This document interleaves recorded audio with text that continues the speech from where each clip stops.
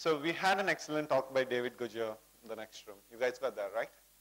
Yeah, pretty interesting as how poly polyformic puzzlers could be solved using Python, and he said his experience about um, using Python and how he got involved with uh, DocUtils project when he was trying to solve puzzles using Python. And just out of context, okay, um, uh, even my uh, interests were like this. So I had n puzzle solver, which is like you have a two-dimensional matrix and you puzzle up, you solve a n puzzle. When that's something which had interest, like recollecting my uh, solution for the n puzzle. Uh, this is completely different top topic altogether. Uh, this is Internet Protocol libraries in Python. And um, I assume that all of you have used Python or have heard about Python.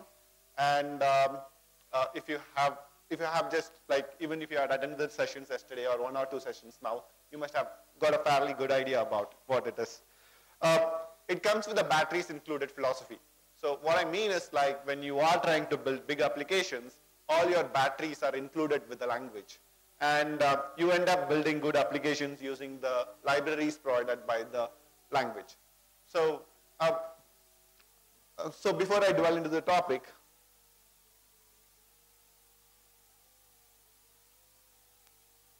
Uh, something about me, uh, I'm a Python core developer. I'm the maintainer of many internet-related modules.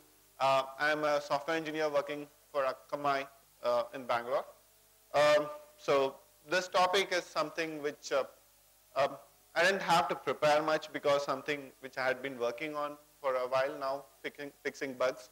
So what I'm going to share is more out of my practical experience than uh, a presentation as such. Uh, I, I, will get to that when we look at the URL parse and the other modules, and I'll see a snip, snippet of code and we'll dwell deeper and deeper into it, recursively going into what it goes behind the module to the layer of sockets, and then we get the response back from the clients. Okay. Um, so uh, let's get started. So what's the status of Python now? Uh, how many of you use Python 3 at the moment? Yeah, pretty good actually. So currently all development happens in Python 3.2.a2. This is A2 release, uh, which will get released pretty soon. Uh, Georg Brandl is the release manager for that. And uh, this is the trunk where all the code development happens in Python 3.2. So any bug fixes will directly go in there and it will be backported to Python 2.7. Okay. Uh, if you are using Python, which came as a standard distribution in your operating system, you must probably be using Python 2.6 because I'm not sure if Ubuntu has started shipping Python 2.7. I don't think it has. So, uh, but it's Python 2.7 is in maintenance mode, which is, means that it's been released and available for the public.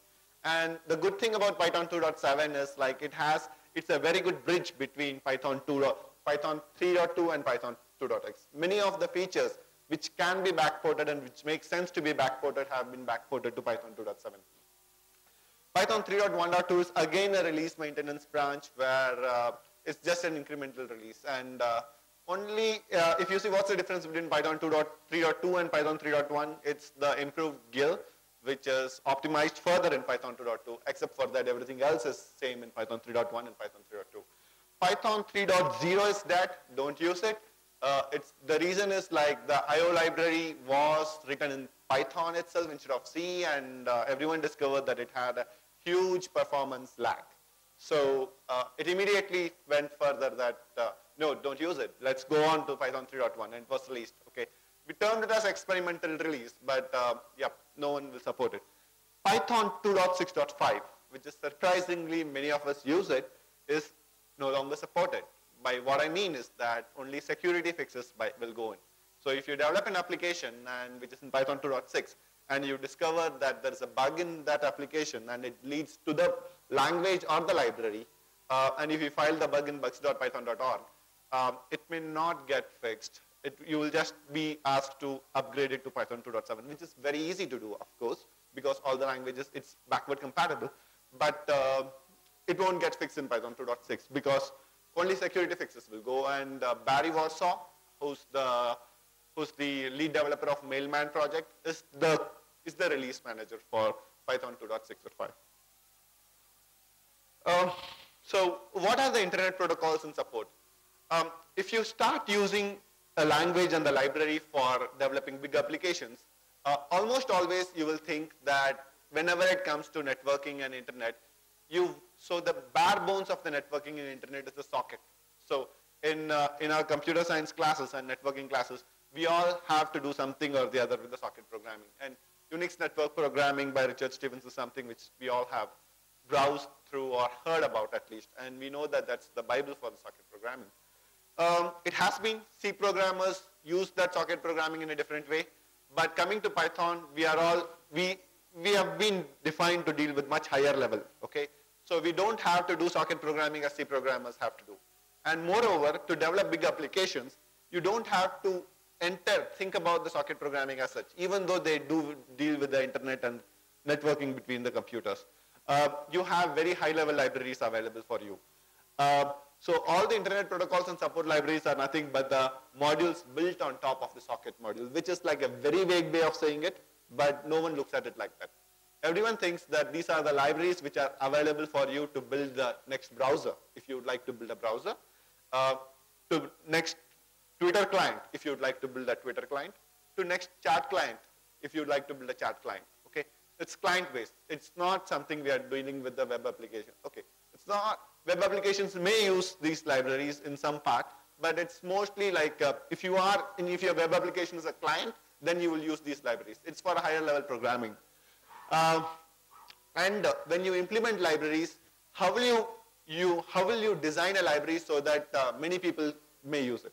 So if I write a program in my college project, I can think that it's for my own use. At least my friend can use it too because I, I must have said to him that this works that way. But when you are designing and writing a library, you should be pretty particular that your library is standards based. Okay, so if someone down in the road from Brazil or someone in the, if someone in Australia tries to use your library, he shouldn't be confused that what this particular function is doing. Rather, he should be very certain that this function is to be acting according to the specification given in the RFC. So if a mail is to be sent, the header should be in front and then this, these many headers are a must and these are optional. And then comes the body part and what should be the format of the body part and what are the separators are all defined in the RFC.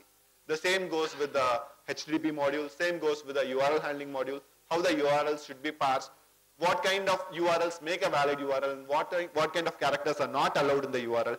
All of them are specified very well in the RFC.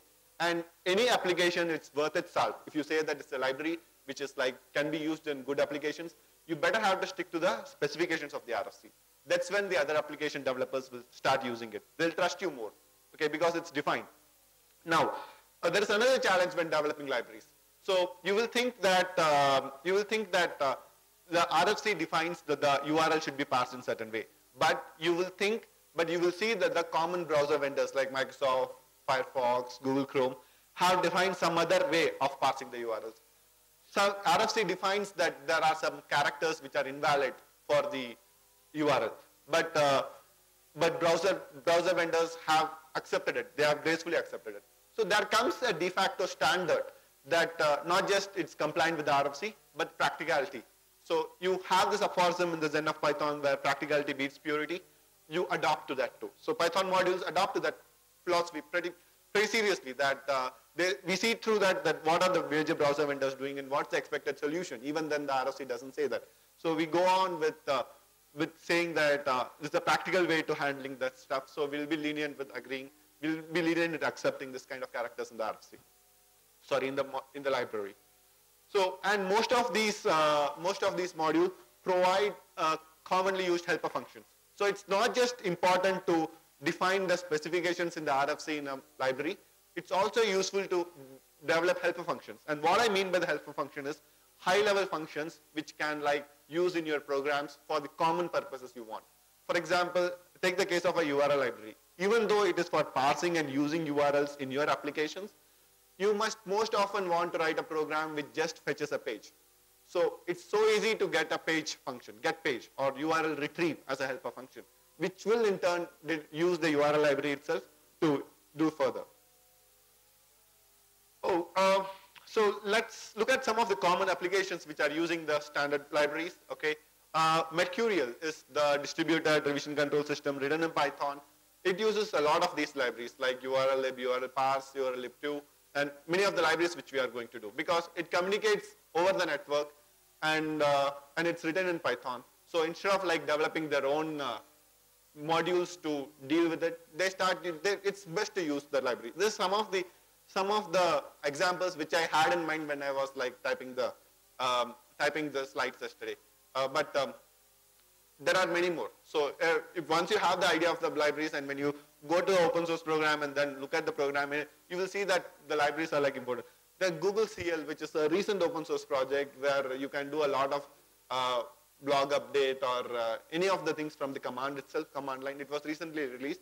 I just go went through the uh, went through the source code of that, and I saw that it pretty extensively uses these internet protocol libraries because all it has to do it's like as a client and it has to interact with the Google servers, right?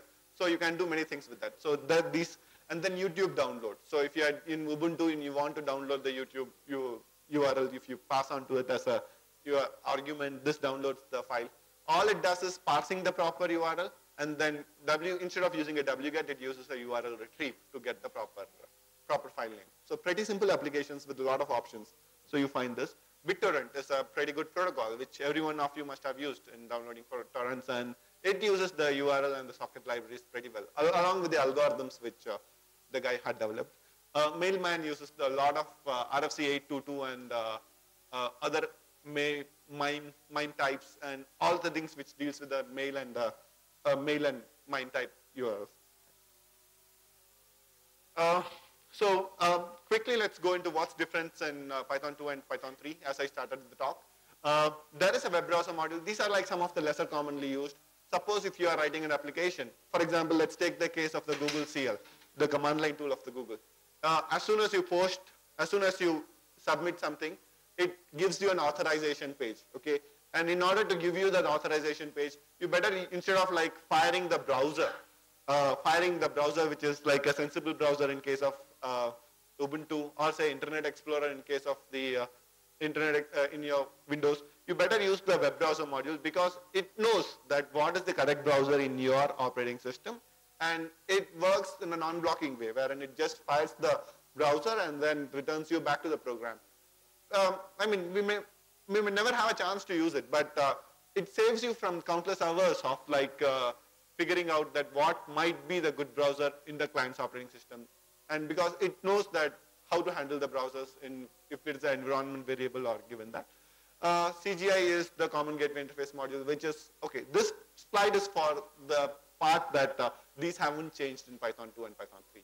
So CGI module is the same except for the internals, which of course changes. But the interfaces in Python 2 and Python 3 haven't changed. And then there's Web Services Gateway Interface Reference Module, which is like a reference implementation of the WSGI. Uh, even that hasn't changed, but in Python 3, it's still not a very steady solution because it's still worked out in terms of what is good in Python 3. Uh, in Python 3, there's a major, uh, major change, wherein uh, it's internally everything is a Unicode string. And uh, when WSGI was uh, was was like specification was defined, was ASCII strings, and they are like still working out that when we can have we are when we can have the interface between ASCII string and a byte string. But the reference implementation, the interface of the uh, reference implementation hasn't changed. And UUID is a unique identifier generator, which uh, hasn't changed in Python 2 and 3, which gives you a unique identifier. Uh, less commonly used modules like uh, ftplib, poplib, imaplib, and smtplib and telnetlib haven't changed either. Uh, FTP for handling FTP, and if you are using urllib module, you will find that you are using ftplib with N2. Uh, poplib for handling the POP3 mail clients, which rarely anyone uses these days, but yeah, people still use it because some good email providers provide POP3 account. Um, map, IMAP, SMTP, and telnetlib Rarely people do use it, but still it's available when you want to build it. Oh, so something surprising if I would like to share. There is something called NNTP-lib, which is like News Network Transfer Protocol lib.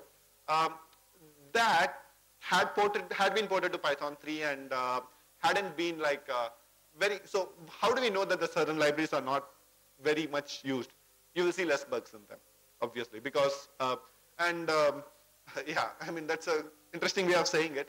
But yeah, the same case happened with the NNTP lib too. And uh, there was a huge discussion that why should we have NNTP lib in the standard library module itself.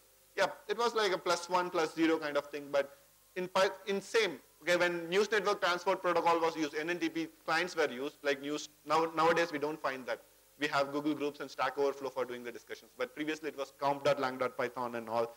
People used to use the news readers. Um, and that time NNTP lib would have been used, but right now no. Uh, there is like, those news readers were supporting ASCII and there were like proper communication in ASCII, even though the Unicode can be handled in a certain way. But with respect to the interfaces of handling ASCII and the bytes, there was a serious backward compatibility issue, but still Python 3 is going to have an NTP-lib with a good support for bytes string. So you will see that even though it's not used, you can have the reference implementation of the protocols just because when you want to do a project using that, it's available. Uh, in, in Python 3, the URL lib had been changed into a package where the URL lib is one of the very old URL handling libraries where you can use to download files. That is, uh, when you use a 2 to 3 tool, it can change into a request response and a parse. What it means is whenever you are dealing with the, the, dealing with the network system, you define a request and a response. So a system or a server receives a request and sends back a response. Or a client sends a request and receives the response. So that's how you have to look at it and uh, that's how it has been demarcated in Python 3 as request response and parsing is for parsing. For example, if you want a scheme of a particular page, you want to go to the page and then parse the scheme. So you have parsing facilities available. Uh, there were two libraries in, uh, in that. Two was an advanced feature, advanced library, which many of us use now. Uh, that's been, um, that's also, so that's been merged together. People had a confusion that why do you have URLlib and URLlib2? And in Python 3, there is no more confusion because you have a package by name URLlib and you can use a request to request the resources and you give the response to give the response back. And parse is also no longer a separate module in itself. It's a package of by URL itself and has the module by name parse for parsing the.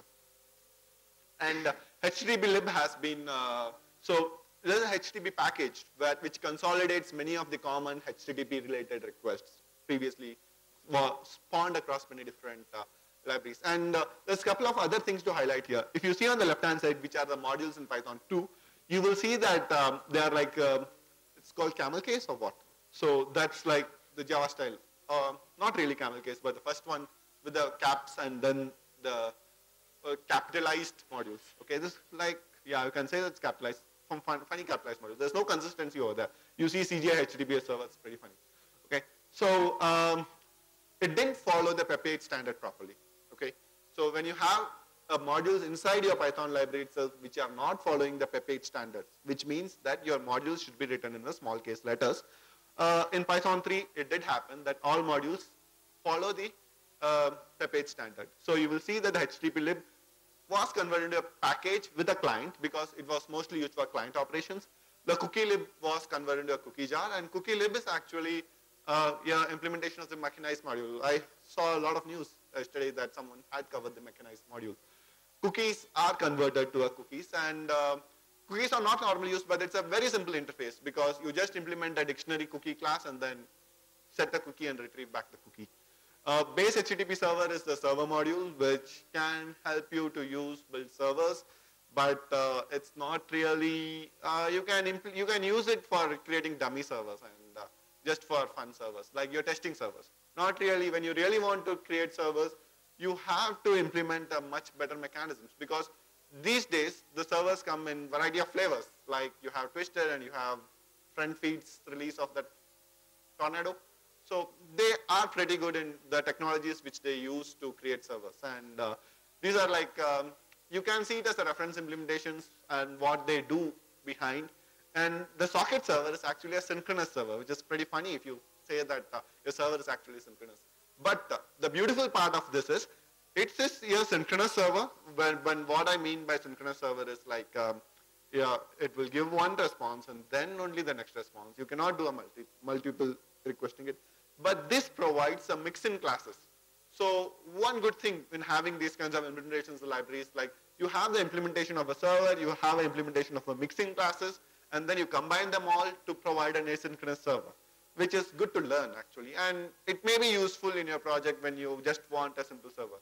I mean, there have been use cases. XML RPC lib, it's most common when nowadays when you have to do a remote procedure call on the uh, remote machines where uh, there was, there's an XML RPC package in Python standard library which uh, um, which is like, uh, which is, which has a client and a server specification. It's a doc XML RPC server too. I've never used that. But the XML RPC server and the lib concepts are pretty useful when you are going to do a remote call. Uh, web browser, you see this, uh, pretty interesting that um, uh, you, you just have a open uh, tab and open new and it works. So you know that some of sometimes Python standard library modules can be invoked like uh, um, using the minus m argument and uh, when you can pass yeah, when you can pass, of course the the the Wi-Fi is not there. But did you see that it did open? So, pardon? I, I haven't configured it, sorry. Yeah, I'm sorry. Wi-Fi is there, but I haven't configured. I just switched on my computer. Okay. Um, so the part of this was uh, web browser module is available in the command line.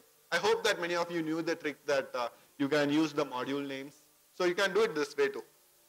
Import web browser, web browser dot open, new will open a new window. So, and look at it the other way. I can do any kind of URLs. Okay. So file URL. So, uh, and you can use the other way too, like you're opening the browser with the, the command line module itself. So, uh, simple. I mean, you may use it whenever you want it. Uh, and the CGI module is also available when you want to write a proper CGI programs. And uh, Perl with CGI was pretty famous, by the way. Okay, whenever people used to learn Perl and they wanted to do, and even now I see a lot of CGI systems implemented in Perl. Uh, Python has a good CGI support too, but uh, Python has advanced much further than that when we use the web services gateway interface specifications for, for dealing with the web stuff. Okay. Uh, it's easy to do it in Python, like uh, you print a content type and uh, you give a print line, which specifies the backslash or backslash n, which is the requirement by the CGI standard. And then you print whatever it is in the, in the uh, HTML code because you specify the content type as HTML. And then you run your server in this. So for example, uh, I have this simple, I have the CGI. So let us say hello, hello.py. Uh, doing nothing, but uh, it defines the content type as HTML and prints the HTML hello world and it imports the CGI traceback module. And when I do a print of 1 by 0, which is supposed to return a zero division error because 1 by 0 is an exception, um, it will be cat caught by the exception handler and then its CGI exception handler will be called. So when we open that in uh, the browser with its localhost, CGI, So you find that the hello world is printed and the CGI exception handler gave a pretty nice, uh, what you can say, trace back with the colorization as where that exception occurred. So pretty, pretty easy to do a CGI programming. When, and CGI programming, most often what you do is like you create a form and then you take a values in the form and then um, you, and form is stored as a dictionary in Python. It's like uh, accessing the names and the values in the dictionary. Um, that's with the CGI module. Uh, web services gateway interface reference is, uh, is defined. So when you, when someone says that this uses the WSGI, which is web services gateway interface, they are referring to the PEP 3333, uh, which is uh, the specification of how, so what is this web services gateway interface is? Uh, Java programmers have had the servlets and uh, when people know the Java, Java servlets, they know that they can define these servlet objects and they put in different operating, different web servers which can talk to the servlets. They are kind of like a middle layer programming, middleware, which can talk to the web applications and can talk to the servers also. So that when you develop applications which can sit on Tomcat, which can sit on some other, I don't know, whichever. But here, what you can do is, we're using web services gateway interface reference implementation. You can design applications which can, uh, which can sit on, oh, okay, it's like this. No, so only the web framework authors care about the web services gateway interface application. Suppose if you are using an application using the framework and that framework supports this specification, you know that uh, you can use your code in different web frameworks or to an extent slightly uh, in a similar way wherever that framework supports. You will have a common look and feel or look and feel or the logic of implementing your solutions. So you have Django, TurboGears, App Engine and different uh, web frameworks all supporting the web services gateway interface specifications. Standardization helps because you speak one language and follow similar protocols. Uh, with WSGI ref is a reference implementation for the web services gateway interface specification. And right now the next version is being written on, which is called PEP 444, uh, which is for the reference implementation for PEP uh, for Python 3 actually. Um, if, because many of the frameworks haven't moved to Python 3 yet. Um, so what yeah, web services gateway interface reference, uh, uh, reference implementation actually is is like uh, look at the la the last two lines of code is like making a server and serving it. Okay, but the part is this. The make server call takes a callable, which is a hello world application, and the callable takes an environment variable and another object, which is a callable again called start response. It defines the headers and the start response call, and then returns a list of the response.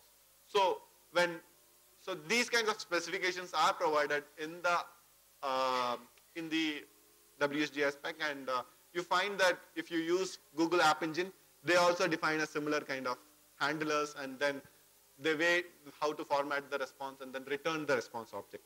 So that's it's that's the implementation defines. It's at the bare bones level. Uh, unique identifier, I have never had a chance to use it. Yesterday only I had looked at the module. Uh, it's according to the specification again, RFC 4122. I'd like to know if anyone had a chance to use UUID or GUID in any of the... Pardon? Okay. Temp file module is there. Do you, do you mean in this way? Okay. Oh, so for the purposes which you say that uh, creating temp file, there's already a module by name temp file, and I'm not sure if they are using the same. I don't think so because it's yeah. Got okay. I see. Uh, Anand. Okay, I see. Yeah, yeah, yeah, yeah. That's common use. Yeah.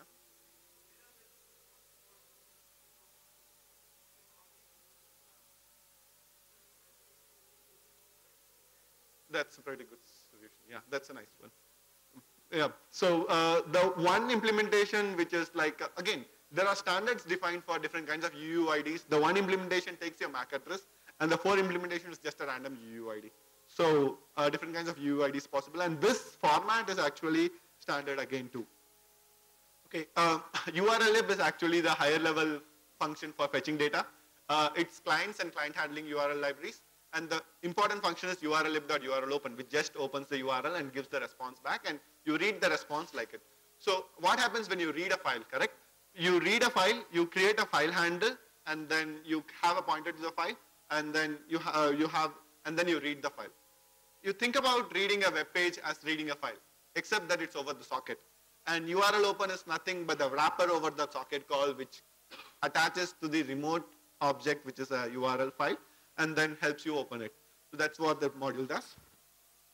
Um, URLlib2 is here, next version of URLlib. It creates a request object and it has different handlers depending on the protocol and gets a response by corresponding handler objects where it separates the concerns of different things. Suppose if you find a new kind of a URL and you want to you want to handle that in your lib in your application, so you can subclass or add a custom handler so there's a design pattern. Handler is actually not a design pattern, but there is a design pattern by name builder. Uh, builder design pattern is actually like, um, uh, it's like a, there is an opener director call which directs the different handlers and a builder is built for different handlers and then it directs which handler should invoke that. So these two patterns combined together in the URL lib, providing all the different functionalities and facilities it provides. It's pretty customizable and uh, useful for example, when you want to extend it to support SSL, you can use the HTTPS handler, FTPS handler, add a custom handler to your object and then use it. So um, we'll just dwell a deep into the deep into the code when we go there. Um, I'm not sure like how effective will it be, but uh, I'll still go in and see, give you some in the details. Uh, parse for uh, parsing the URLs. Uh, most recently, uh, IPv6 uh, URL parsing has been added into the Python standard library from Python 2.6 and Python 2.7 onwards. Uh, bigger applications like when you use, yeah, like for example, if you are using a URL shortening service, you are writing your own URL shortening service, you may probably use the urlparse module because you want to parse the URL and then create a better URL shortening service, right? httplib is like underlying layer. So when you use the URLs, what it happens is it's nothing but the HTTP protocol. So urllib sits on top of the httplib, which again sits on top of the socket lib. And it also interfaces with the cookies and the other things. So this is nothing but the underlying layer of the urllib and it implements the HTTP 1.1 specification. It implements the HTTP states on top of the socket. ftplib is for handling FTP class. There's a single FTP class, okay, which takes the FTP URL and then uh, and then returns the and follows the similar function. So it creates a class and whatever names which is defined in the commands, it is used by that and then uh, gets it. Uh, more recently, there was a guy by name Giampaolo Rodolà. Uh, he got interested in adding SSL, no actually SSL module was added in Python 2.6 for handling all the SSL related tasks, which is pretty useful because otherwise we were using PyOpenSSL. Okay, and PyOpenSSL has, it's, it's a good module also, but um, SSL being such a common functionality nowadays, it's best to have it in the library. And uh, all these libraries are now getting upgraded to use TLS calls and SSL calls to have a secure communication. Um, socket server is like a synchronous network server and helper classes with mixins. Um, like, um, and uh, another, you can, so another trick, simple Easter egg if you say, that simple HTTP server has a main module there where uh, you see that uh, if you if you run the module in uh, this way, for example, let's do that. Okay, Python minus m, that simple HTTP server. This server 4242. Um,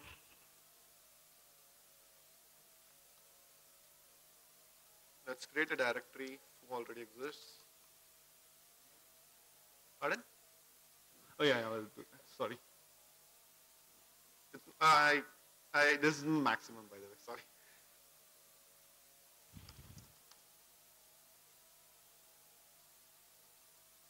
And let me create a first year file.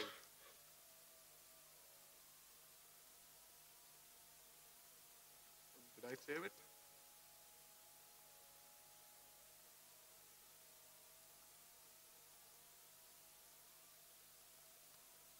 uh, port 42, 42. This my favorite port. Okay, so you see that uh, your server is serving in 42, 42, and uh, if you see localhost colon 42, 42, yeah, uh, uh, it did open because we didn't have anything there. Uh, it's not there, but um, let's add something. Title, header, body, Okay. Hello Python. Yeah.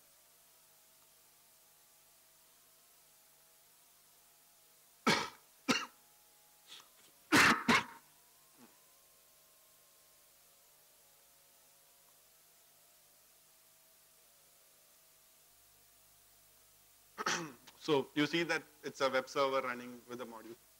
A pretty simple implementation of the web server.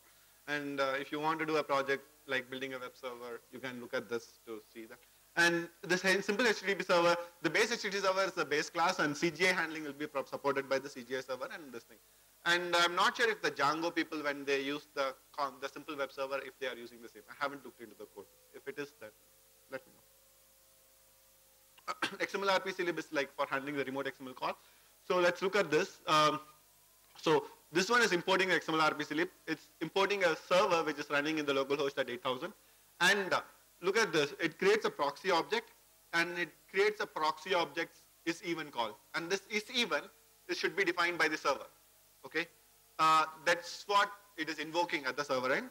And um, it will specify that if it's even or not. And how the server defines it, it's, it's pretty easy there. So it's a simple XML server where uh, the is even call is defined here and, uh, and it runs the server at the local host at some port and it registers a function. So the important part is this, create a class by name simple XML RPC, you register a function whatever method you are, which takes the argument, Okay, and it's defined by the, when you're using the method of the client end, and you serve it forever. So you will see that the server returns that if the thing is um, the, even or odd. So um, just if you want, we can go a bit into that. Code Python India 2010. Inside the code, I have as, okay. Web services gateway.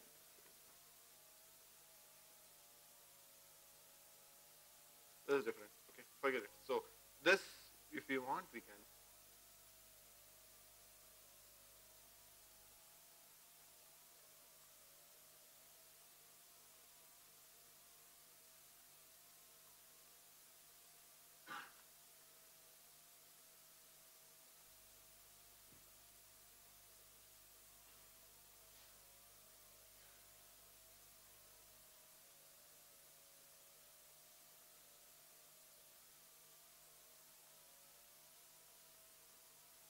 So three is uh, even was false. Okay, I'm sorry.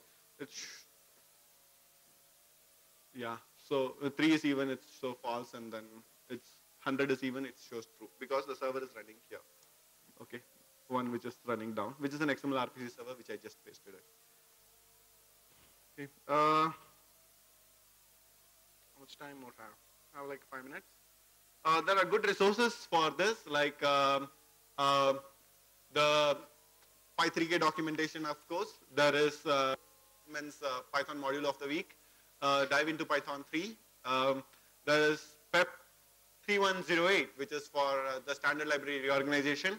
And uh, good Stack Overflow questions, like most useful Python modules from the standard library, which uh, recently someone did a statistics from the PyPI, which is like a Python package index. How many modules from the standard library were used by the other packages? OS module was the most commonly used one then there was logging, and then there was urllib2. And I was happy that some of the modules like uh, are pretty commonly used. Um, and the XML RPC server, not XML RPC servers, but the but the servers like, for example, uh, the CGI HTTP servers and nntplib was like very rarely used, like eight times out of uh, of the, all the packages which are present in Py, PyPI index. So that that is there. Uh, that's a good resource. And before I like uh, break, um, I shall just uh, let's look at some of some common this thing. So what is this? Is I don't have I don't haven't configured the internet here Wi-Fi, but it's pretty common call to you create a, a URL lib request and then using a URL lib opener. So what it will do is like return the response back for this request. Okay, um, I recently found this uh, debugger utility called uh, PUDB, okay, Python Win Debugger. Um, I mean, it looks in a very console way, uses cursors and all those things. I didn't find, but more, more recently when debugging for bugs and then fixing bugs, I found that that's very useful, okay. Um, it will help you go back to your college days where you're using the Turbo C and other things. For example, this is how you look. Uh, yeah, look-wise, it's not very modern, but if you, and it has all the features of a most common debugger, and especially if you are used to Vim and Emacs style of doing it, this is pretty useful. For example, you can go to the variables window, and then you expand the variables window, and then see what are the contents of the URL, uh, library, what different handlers which have been already added to the library, and uh, um, go back, and then you can switch, um, go to the stack, go, go to the stack and then see what is happening. Okay, now I stepped into this. So as I said, the, how the URL library module happen, happens is it creates an opener director class. Like as I said, the design pattern for the builder. It, there's an opener director class which creates an opener director object and it adds a lot of different handlers to it. And uh, there will be HTTP handler, there will be HTTPS handler, FTP handler and all those things. And depending on the URL, you will parse the URL and find out what kind of a handler is required. For example, if it is a FTP URL, you will call the FTP handler. If it is a file URL, you'll call the file handler. And uh, when that handler opens the do open method, like which is what is opening the call. And when it's a HTTP handler, which is calling the do open method, you know that it's a HTTP. So you will call the HTTP protocol, httplib protocol, and in there you will find the wrapper over the socket modules for creating a socket and passing the appropriate headers and then uh, giving, uh, uh, receiving the response header back and then returning the thing. So it all builds into a pretty good uh, style of having the big picture framework. So we can quickly go into it. So for example, you see that I'll quickly go in, okay? Just it like bit of a ramble, but uh, bear with me. Um, sorry. What did I do?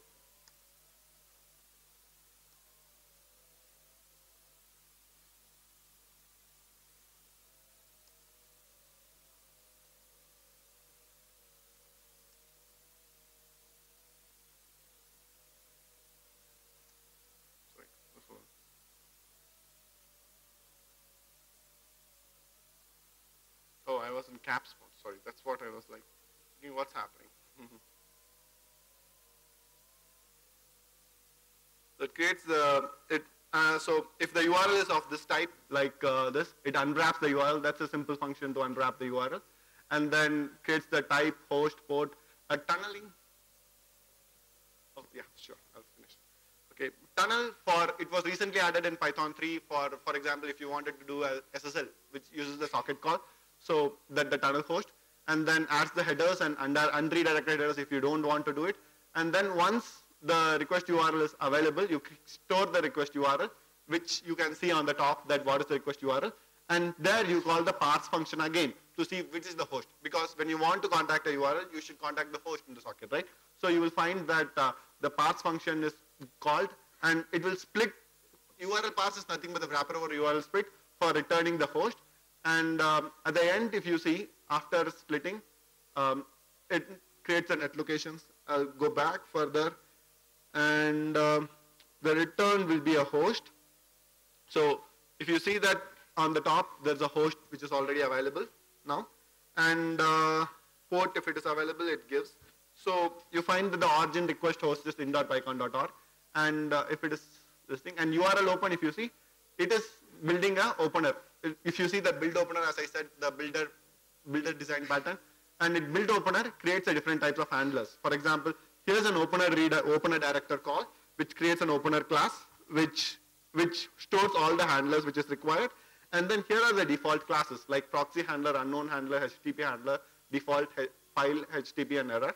And for all these handler, you instantiate it, you create a class, and uh, I'll go past it. I will not go into details of, because when each of the handlers are called, it stores the states of the handlers.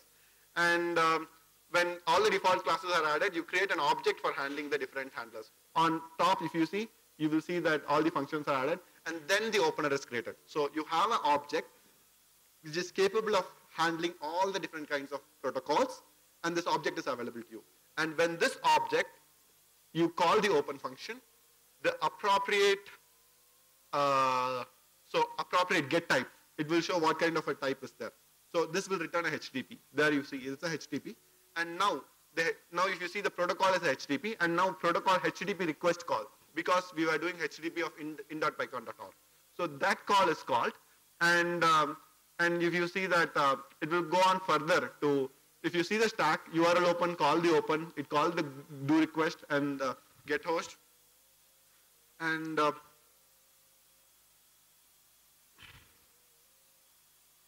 and yeah, and the HTTP open call the do open, which will call the HTTP libs socket, and then it will return the response. Because I am not over the Wi-Fi, uh, it may not. So, so that's pretty much I had to share. If you have any questions, please let me know. No questions? Thanks a lot.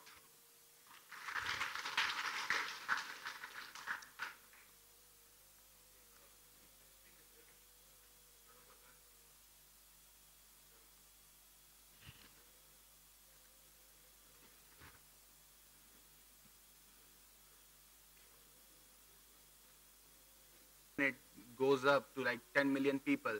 So the application shouldn't stop working. There shouldn't be uh, like server failure or other things. So this is one aspect of uh, scalability.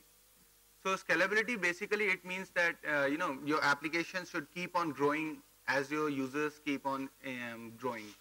So this is this is like in brief what is scalability. Now there are two uh, two things in scalability when it comes to So one is like scaling up and the other one is scaling out.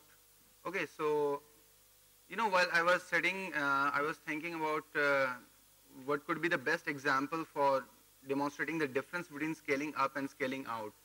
And I thought of one thing, it might not be uh, very precise in terms of definition, but it will, I hope, help you clear your doubts about scaling up and scaling out. So our heart beats at the rate of like uh, 72 beats per minute. And when you start running or jogging, so the heartbeat increases to like 80, 80 to 90. So this might be termed as scaling up architecture, wherein you have a resource, it, you know, you pump in more uh, and more and until it reaches its maximum limit. So this is like a scaling up architecture wherein there is a hardware limit on whatever we do. And then there is a scaling out. So, you know, when you, uh, you think about something, you see something, you watch a movie, you do something. So the information is stored in neural networks inside your brain. So that architecture could be called as a scale out architecture. As in, um, the more you think about something, the more you see about something, the more number of neurons are involved in storing that data and processing it when you want to uh, just use it later. So, all right, so that could be termed as scale out architecture. But the basic difference in, uh, in, scaling up and scaling out lies in a shared memory. So in a scale up architecture where you have uh, concurrent programming going on multi-processor machines, you have a shared memory space that is uh, that is between like uh, shared like between all the processors and resources. But in a scale out application like the we have the Google, uh, Google App Engine or the cloud computing. So in those cases the um, shared memory space is what is lagging. So things become really um, difficult about how to manage a server in these things. Okay, so um, talking next to Google App Engine. So Google App, App Engine is like it's a it's a framework provided by Google, so wherein you can develop, deploy web applications on Google infrastructure.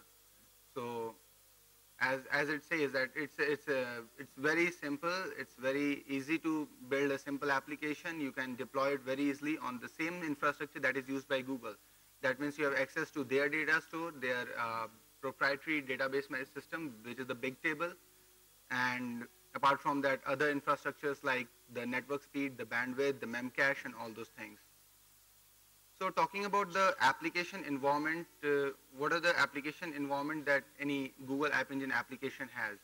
So any um, any application, it, you know, it, it needs uh, to be to have some kind of a memcache so that it can perform fast. Any application needs to have some kind of a data store.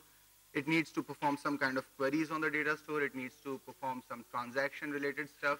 So all these things are provided by Google App Engine. So you don't need to worry about, okay, this particular feature was, uh, was available in my last framework and is not available in App Engine.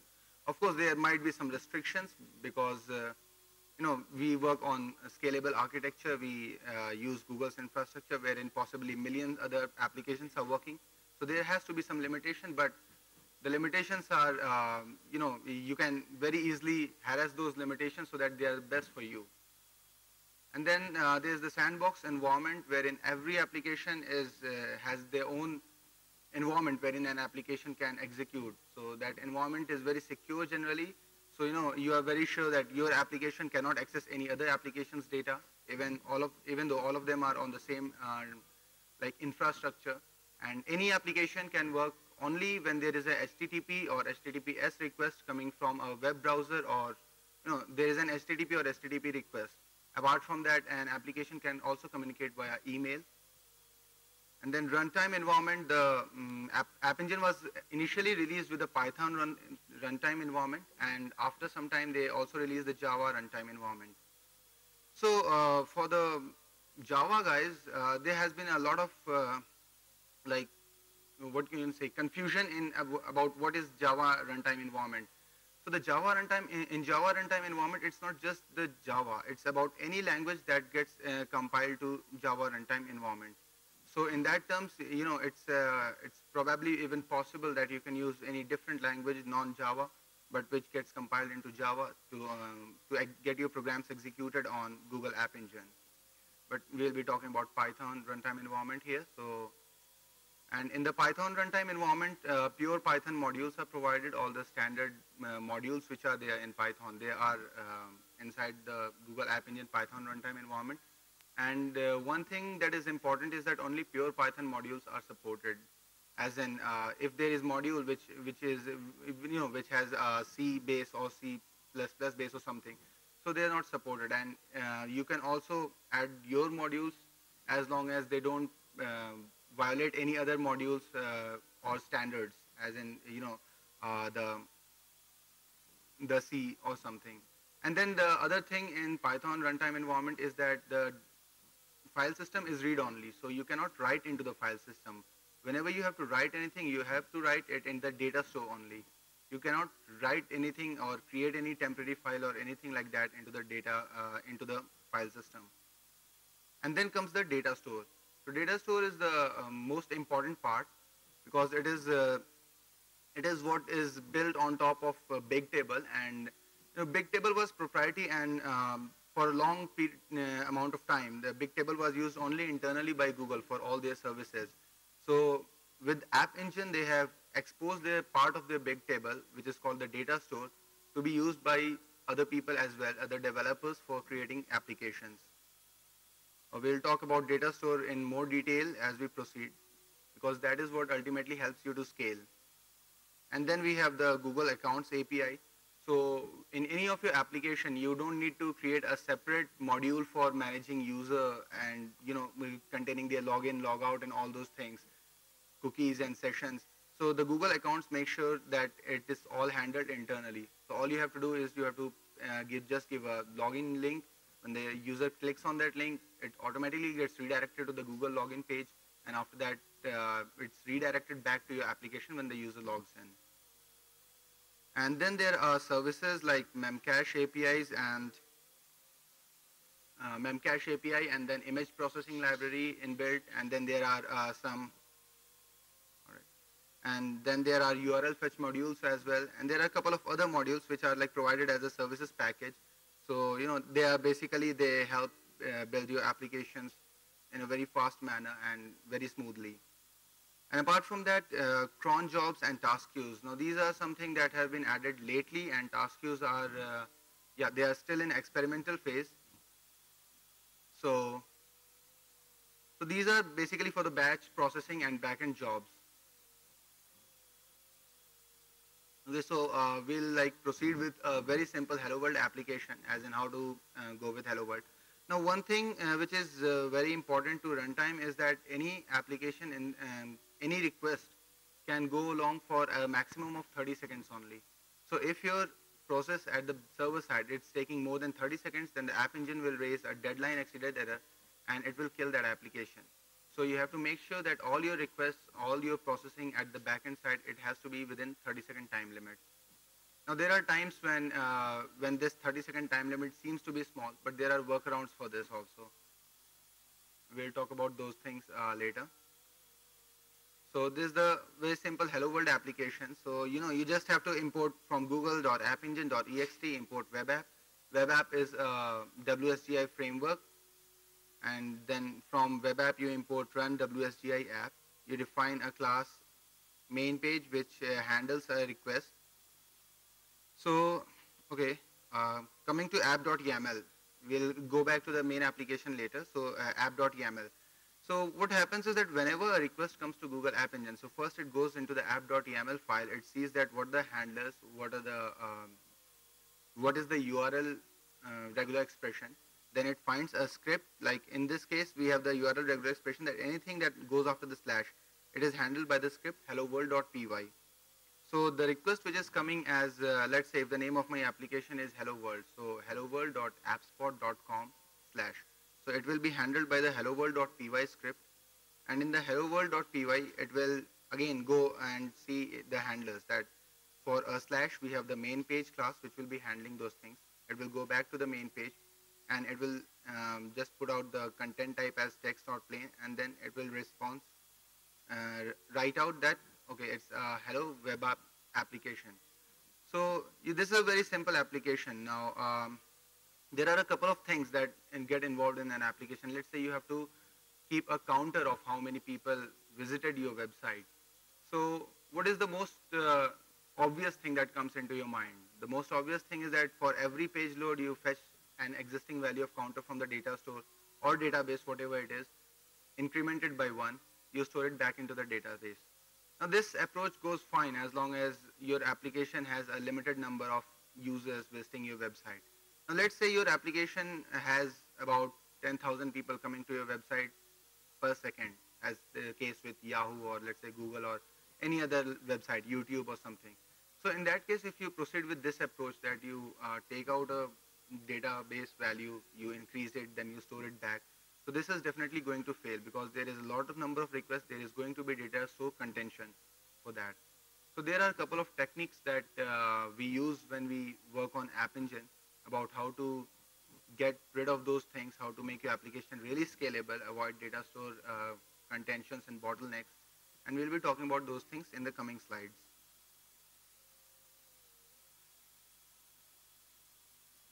Okay, so um, App Engine Data Store. So App Engine Data Store is the scalable data storage for your applications. It provides uh, write once, read many. So the basic philosophy behind um, data store is that it's uh, it's scalable. As in scalable, it's it's uh, schemaless entities that are stored in the data store. So so when it's uh, and then there are like uh, all the things they are arranged by properties which are organized by application defined kinds. So for any app, uh, for any entity in the data store, there has to be a kind associated with it. And that is the only thing that is possibly required from our side. I mean, anything else that is just an uh, wrapper to make work for us easier.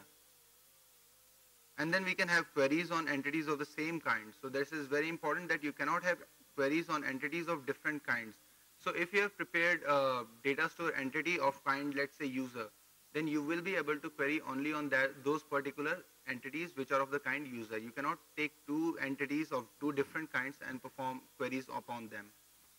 See, uh, so in, in talking to the relational database model, joins or something like that are completely non-supported in uh, App Engine. And then we can have uh, filter and sort properties on property values and keys and then we have the pre-indexing. So what happens is that whenever you store any entity into the data store, Google App Engine first uh, um, checks that what kind of entity is it, does it have a parent, does it not have a parent, is, is it a root entity or uh, what is, is it, and then it stores it into the data store along with, along with indexing it. So there are certain properties or attributes of those entities which are indexed at the time of uh, storing the data. The philosophy is that, you know, when uh, you store data, you think about all the possible uses that the data can have. You store it in a non-relational manner. It doesn't matter how much space it is taking because space is really very, very, very cheap. But the thing is that your application uh, shouldn't go slow when you are fetching the data because writing into the disk is, uh, it happens rarely as in comparatively very less as compared to reading from the disk. So this is what we need to take care of uh, while designing the database for any App Engine application. So an entity is uh, basically it's it contains of a key and it contains of a set of attributes. Now key is something that the data store manages. It is not something that you can um, edit or you can modify or you can do anything with it. So key is basically it's uh, it's a protocol buffer encoded value of, uh, of the application ID and the parent, the kind and other things. And then there are a set of attributes for any entity. So let's say we want to create a class person. So in this case, uh, what we'll do is from google.appengine.ext import db, we'll import datetime as well so that we can know when this particular entity was created. And then we create class person and we inherit from class db.model. So we'll have the name as db.string property with required value to be true. Then we can have the birth date as db.date property. We can have a height as db.integer property. So there are, a, uh, like in any SQL or in any relational databases, we have various type of properties, integer, long integer, big integer, float, and uh, text, and blob property. Similarly, we have all these properties in App Engine Data Store as well. So this is how uh, we make a particular property to be a string, to be a date, to be integer, to be boolean, whatever. Now then we have to like, uh, so this first part of it, this defining a class, this is basically, uh, basically a method how we can define an entity. And when we have to when we have to store it into the actual data store we need to create an instance of it. We need to assign proper values to it and after that we can store it into the data store so like here we have done uh, for person key underscore name equal to person underscore ted now talking about keys uh, there are a couple of things which are with any data store entity the first one is uh, yeah key so key, as I've told you, it's uh, something that App Engine manages, and then there are key name or ID. So if you key name is basically a yeah. Any questions? Okay, so key name is basically a human readable value for uh, which is unique to an entity. And by uniqueness, it means that entities are path unique. It's not that uh, you know each entity has to be a unique key name. Each entity, any two entities can have same key name as long as their ancestors are different. So talking about ancestor, what it means is that uh, there can be parent-child relationship between entities. So let's say we have an entity X, which is let's say user entity, uh, or maybe a person entity, which is a parent entity, and then we can have a child entity of that entity, which could be, um, let's say, admin users or uh, students or some other kind of entities. So whenever we talk about uh, child entity, the key of uh, that entity contains the whole path of that entity from the application. This um, data store which is highly scalable. So uh, even even this, the servers only know where one part of the data resides, where the other part of the data resides. So in order to make sure that, let's say, if you want to perform transactions or want to perform queries upon certain kind of entities, regular times, or maybe parent-child relationships, so you have to create a entity group for that. And this entity group basically tells that data store that, okay, these all things have to be stored in the same part of the distributed network. So that when we want to perform a transaction or when we want to perform a query on this, so it doesn't have to go and look through a lot of places uh, and hence it improves upon the latency. The thing about uh, app, Engine data store is that everything has, uh, you know, when, whenever you design the application, you have to think about the queries all the time that could be possible with your data.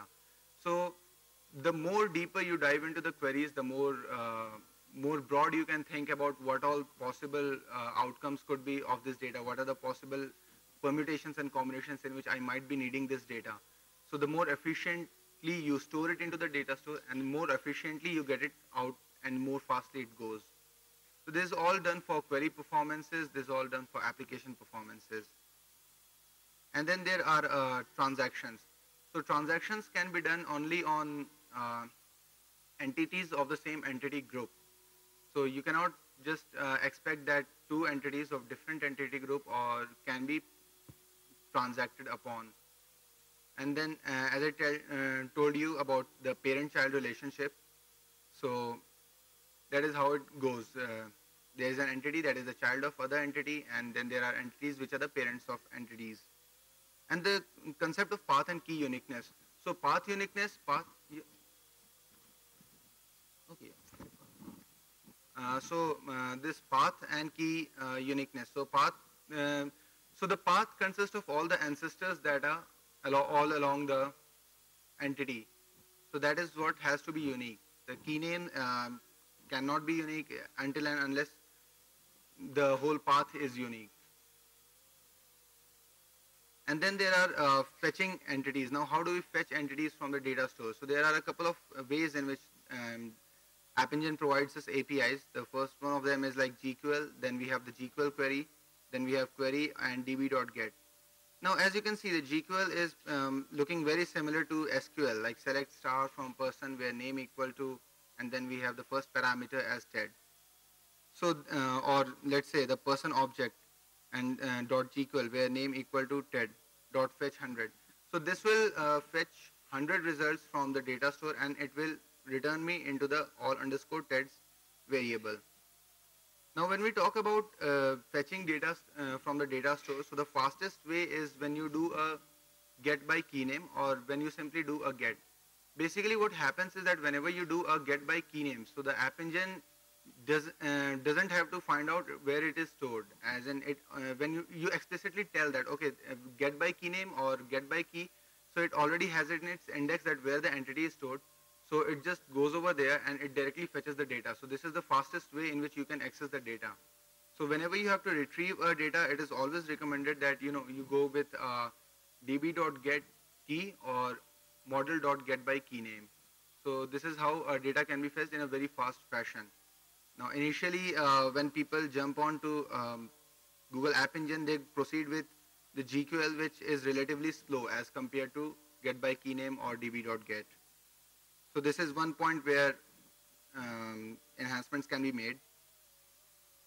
And then we have caching. So for caching, uh, App Engine provides the memcache and app-specific caching, app instance caching.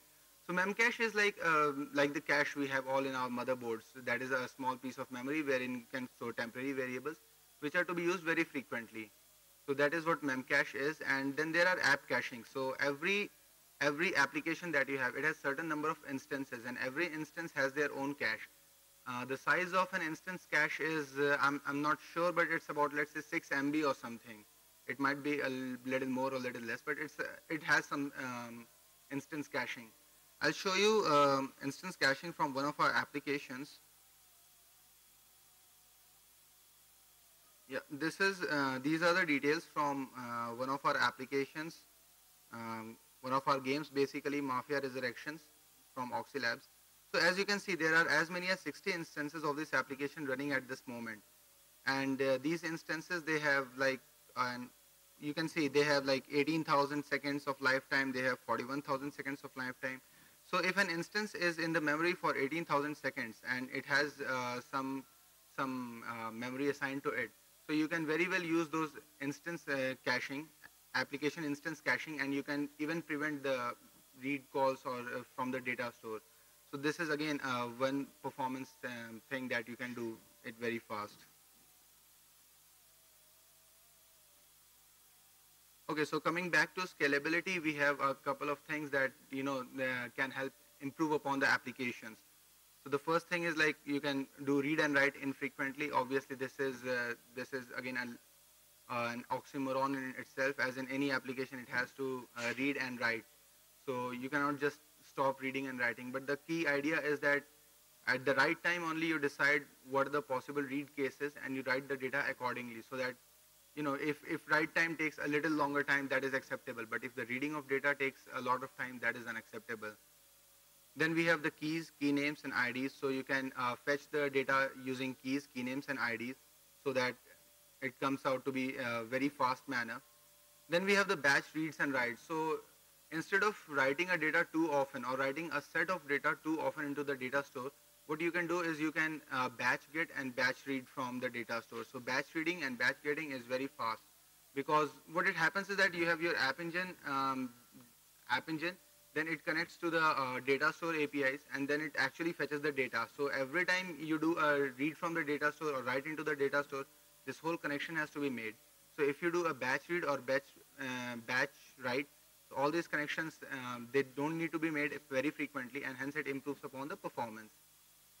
And then other thing is uh, to keep the entity groups very small. I mean, as small as possible. Just not keep on expanding it because if the entity groups are very large, it takes some time to. It introduces latency in reading the data.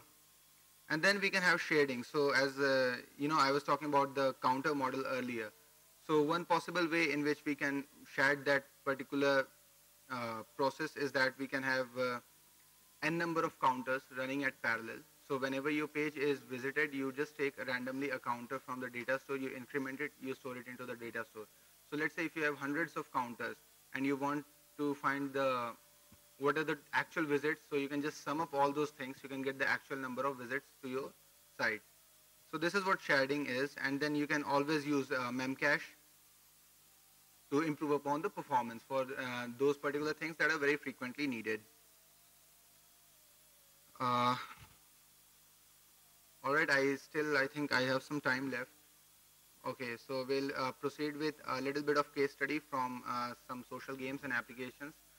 So uh, what basically Oxylabs was into uh, developing social applications. So at the time of developing applications, we went along with PHP and MySQL. So I mean that is a very common um, set of applications. So as our applications went into the flow, as our games started, you know, people like, like uh, people started liking our games, and we have number of users coming. So our applications began to fail. There were a lot more server failures. than we have to introduce more servers. We have to manage all, the, and all those hassles was coming to our end. So what we did was we ported all our applications, all our games from MySQL, PHP to App Engine and Python. And since that day, you know, we have been living very comfortably. We don't need to worry about scalability. What we need to worry about is uh, how to make further enhancements. Let's say if, uh, if a particular instance or if a particular request takes, let's say, two seconds or one seconds, then how we can further reduce it to 0.5 seconds.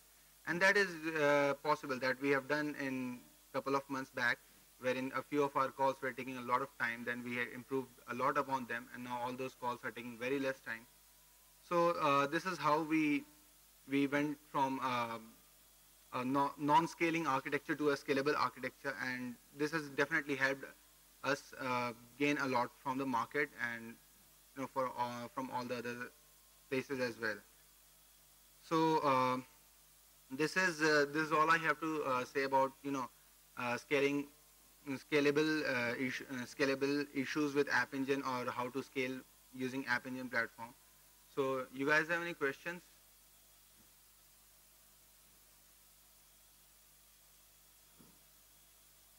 Pardon? Yeah, I'll just show it.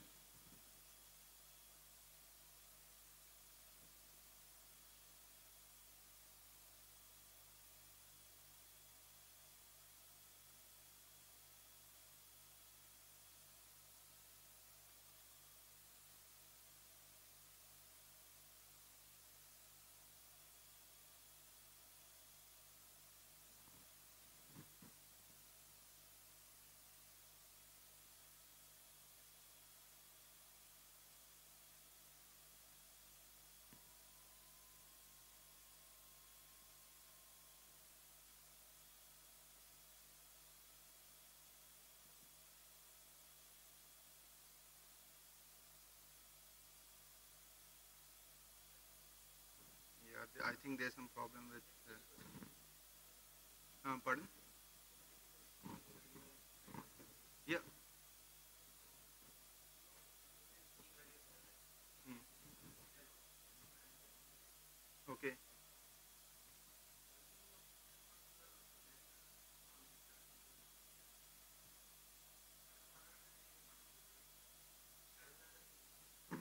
Yeah, uh, the most important thing that that we uh, took care of while migrating from a PHP MySQL uh, infrastructure to Google App Engine is that uh, when we made an when we made those applications on PHP MySQL, we relied very heavily on stored procedures. We relied very heavily on joins and other things. So uh, these all things were just not present. So we we had to change a lot in our architecture, as in uh, that was a big big you know sh shift but uh, we had to do this because that ultimately helped us to uh, grow. And uh, yeah, that is for the good only because when you rely so heavy on joins and all these things, so they actually consume a lot of time and application goes slow. So we had a downtime of a certain period and after that we shifted all, all, our applications.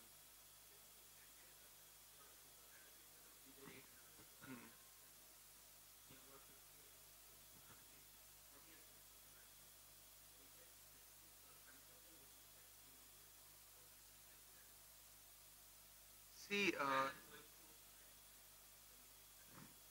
um, as such, there is uh, no standard set of procedures that you must follow. I mean, obviously, uh, the, the biggest hassle is in converting the database from MySQL to App Engine. So that is the biggest thing, and that that ultimately it depends on your application, how often you are going to use which data, how you are going to um, take all the data from this particular end to that particular end. But you know, if, if you want something in more in depth, then um, maybe you can contact me and I'll help you out more in how to uh, port all these applications, existing applications. So, yeah.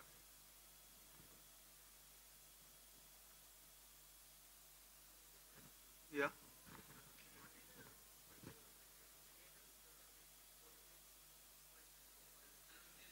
Uh, in App Engine, App Engine as of now it supports uh, 2.5 and 2.6 uh, only. So the future versions of Python like 2.7 or 3.x. Yeah, 2.6 it is supported.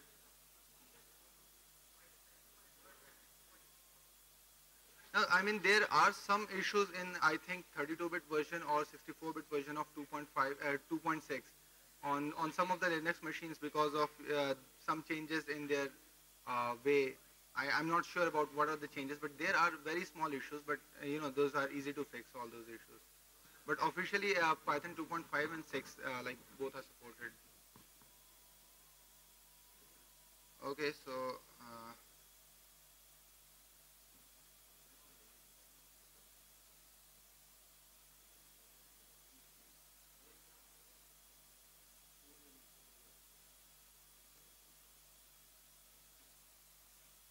And I was really looking forward if I could show you uh, one of our games.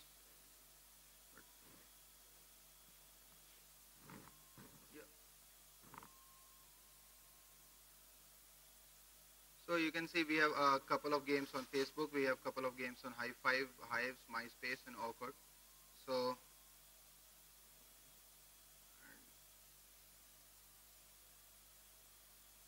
for Facebook, like we have, uh, we are coming uh, recently onto Facebook. So uh, our major games, like uh, the game Mafia Resurrection, which is based on Mafia theme, it is not yet ported to Facebook. We are still on the process of uh, see because bas- basically all the other platforms they work on open social, and Facebook is they have their differences. So so we are still working on migrating open social to Facebook, but other applications they are still there. So on uh, high five or Hyves.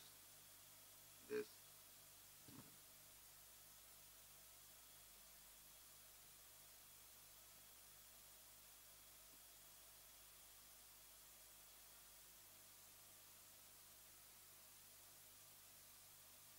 So if uh, if this working on app engine or working on scalable architecture or anything it makes you excited. So obviously we have an open, we have couple of openings in Oxy Labs so you can just come over here and drop your resumes on the email.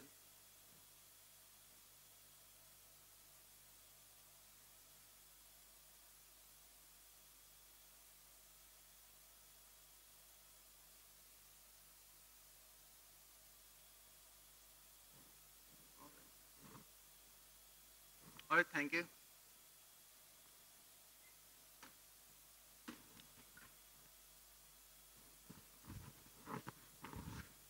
Uh, of size XL and double XL are on sale at the reception. So if anybody wants some more T-shirts or wants them for, for want, want them for their friends, they can buy them at uh, 200 a piece.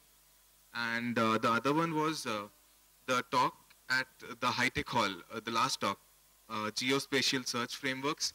That's been cancelled. So no, ta- no talk there. And the third thing is there's this uh, Indian Python Software Society annual general body meeting in this particular place, lecture hall one, uh, at the end, and that's at I think 5:15 to 5:45. So uh, whoever's here uh, at then uh, is requested to attend uh, the annual general body meeting. Yeah, that's it. Django's approach is in order to deal with common web patterns we commonly encounter. So what is a paradigm? Paradigm is an abstract word, basically it refers to common concepts and abstractions. You know, Wikipedia defines programming paradigm as concepts and abstractions used to represent elements of a program.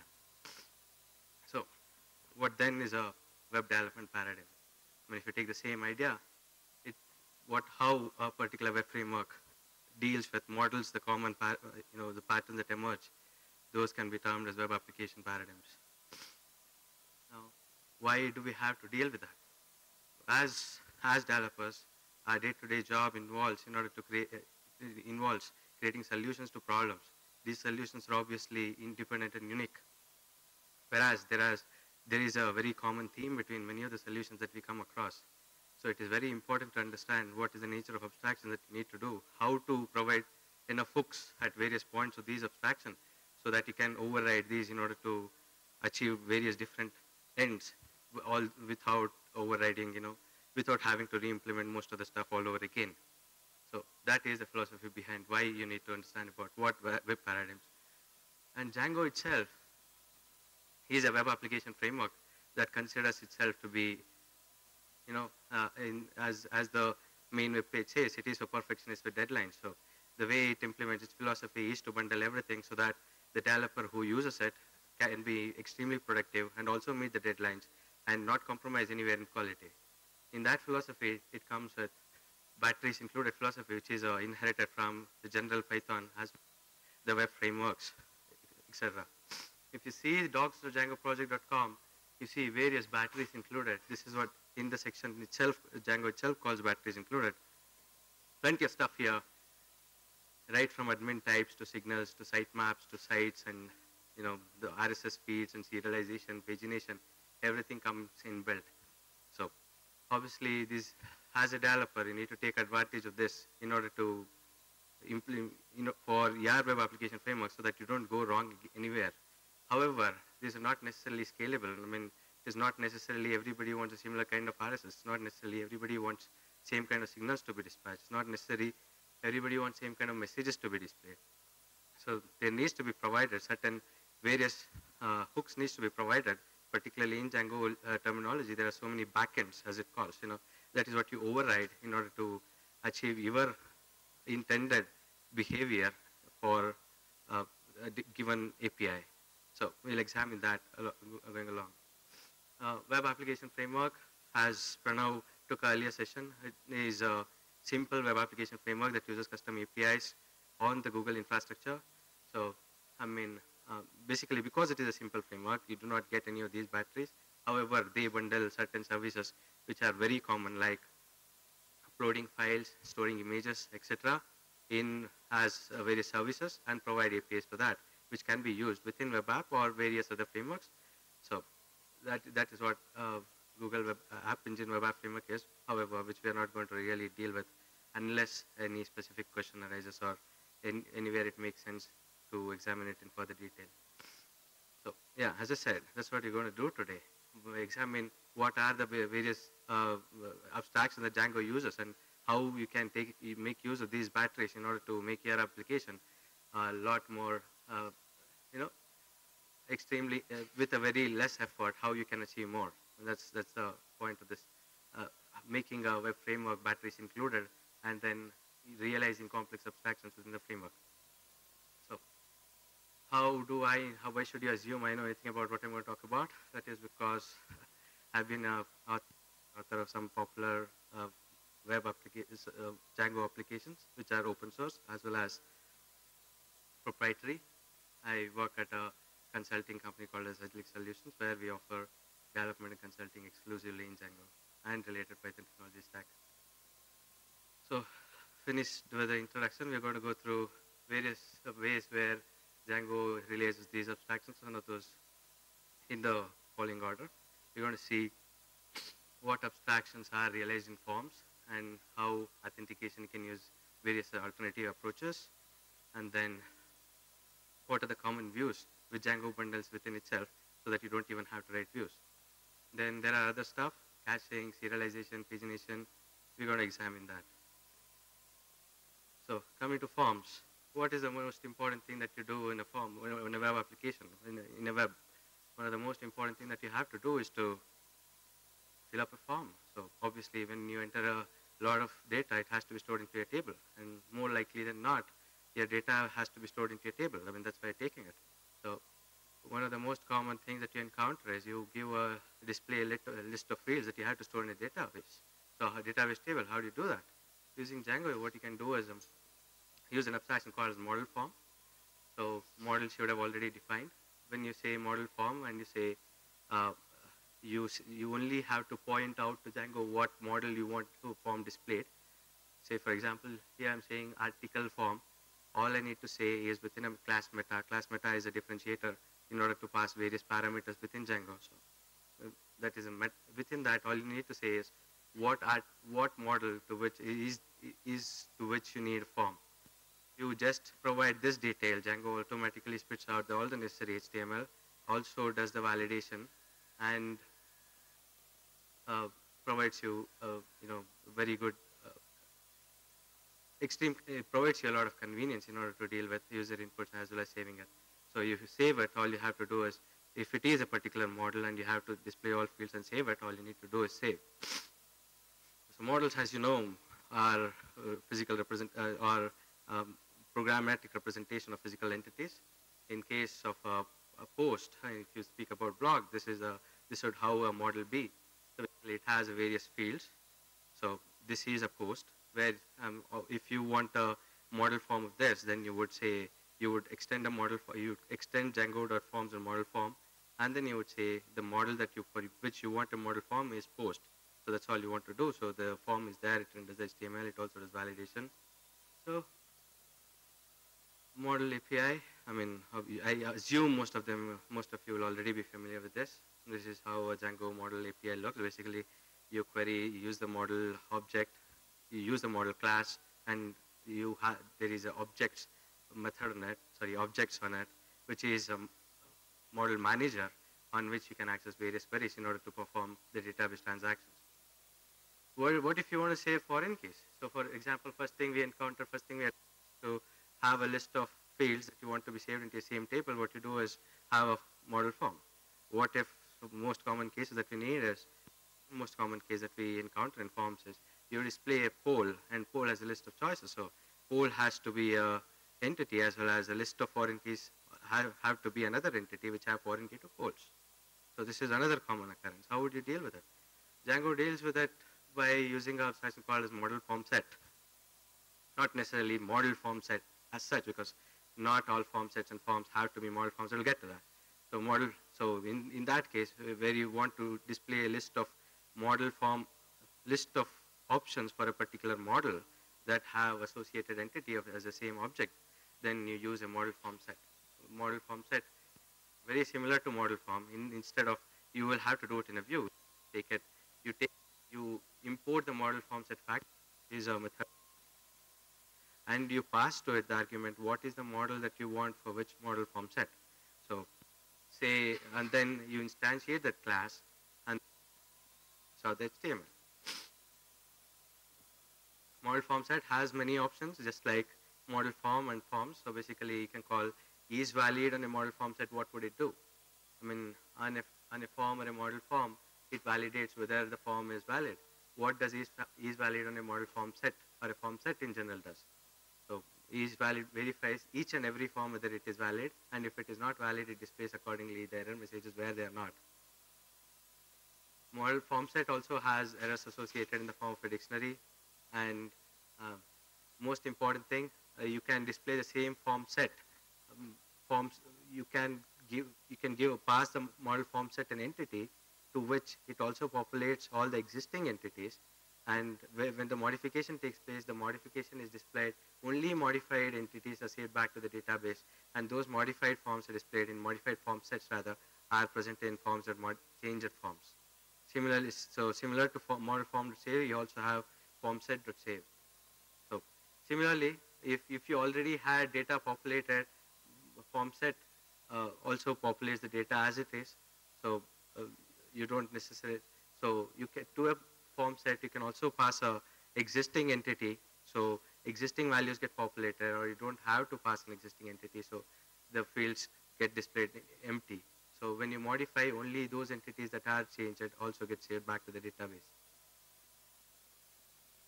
I mean, all through we have been talking about only model form set and model form because we assumed we'll have to be saving to the same data, same table, but not necessarily the case. Most of, more of, most often than not, we will have to save the data that you obtain from a particular web form into several tables or you need to do something else with it or even to save to a particular database you need to associate more number of fields than that you obtain from the user yourself because obviously things like username also might be present on several of these models which you do not prompt to the user. That needs to be explicitly set so you don't necessarily have to use a model form or a model form set. These those can also be form or a form set. And in the form and what's the difference between them? These do not map directly themselves to any particular model. You write a same method where you can do whatever you want. And so that is where you design pattern that is where you associate the other entities that are present within the model, the appropriate values, uh, or you split the val values that you obtain from the form into various tables, and then you can save. The form.save, form set.save would again typically do the same thing, except in this case you would have customized it in order to save to various tables or to add more entities into the values within a given table. Form preview. One of the other things that you want to do is you ta you've taken a value uh, in, within the form before saving. You have to show to the user, uh, hey, look, these are the values that we populated. Uh, can you confirm to us whether it is right or wrong? This is another standard pattern. How would you do it? Django provides a, a built-in mechanism even for that. It's called as form preview itself. You import this particular class from Django contrib form tools preview. So you extend the particular class and then uh, to this particular class within the URL, uh, within the URL you need to pass a set of forms that you, uh, sorry, within the URL you pass the form of which preview you want to be displayed at this particular URL and that is all. So basically as the URL you're, pa you're passing some model form because this is some model form preview is what I've extended model preview and because this is a model form you don't need to define any fields and because and then after saving so this same form preview uh, you have to define the interface the done method where wherein you define after preview what to do. Basically after the when the view confirmation comes that is where the request gets passed. So here you're supposed to do what you want to do with the data. So basically another common occurrence the point of this is another common occurrence is to display a particular value. How would you do that in django? Is by just importing a form preview and telling it what form you want displayed in what URL. Another form paradigm is form wizard. You go through, you don't necessarily want to bombard a user with so many different values, so many various input options within the same page and then save the data. Rather, you would want to uh, split the values into various, over various uh, pages. So one of the ways of doing that would be by using a form wizard. You define various forms independent of each other and then say, then import a form wizard from Django to contrib.forms. Is that, yeah, fine. I mean, I haven't mentioned the import location, but that's where. So where you take the form wizard and you extend that, again, even after, even in this case, you have various interfaces defined. Basically, you can, uh, when the form wizard completes, what do you want to do? Or uh, when a step is completed, what do you want to do? So define each step, what do you want to do before each step, after each step, or you know, you can do a lot of stuff within that. So basically there are a lot of methods within this one also. So form wizard takes care of that. Okay, that about the forms. Now let's get into how Django does authentication and how various things can be overwritten in order to do the your nature of authentication. Standard way of authentication, everybody needs login, everybody needs logout, register, password reset. For some, then when somebody asks for a password reset, you obtain his email or his username, send him a password reset and then he clicks the button and then he comes back to your page and him what is his new password and save it. All this has to be done, all this has to be done repeatedly again and again and again in each and every application you build, you don't have to. In Django, you just have to define patterns because all these are defined standard views. Those are defined within the framework, so you just have to point to at what URLs you want these views represented. So basically, this is a standard URL pattern for authentication. You just point to all these things, and these will be done for you but does not necessarily mean all login is similar to what Django thinks is login. All login means all uh, password reset is similar to what Django thinks it is password reset. So it needs to provide various hooks in order for you to customize how to change these, you know, uh, how to change the default behavior of these particular paradigms. So uh, with authentication, there are so many pages. For example, without getting authenticated, you go to your mailbox. What does it do? It doesn't give you, you're not authenticated. It should say, hey, first log in and then I'll take you to that page. That is one of the common patterns. So what you do for that is to uh, just uh, import a decorator called as login required, which is also bundled within the authentication framework.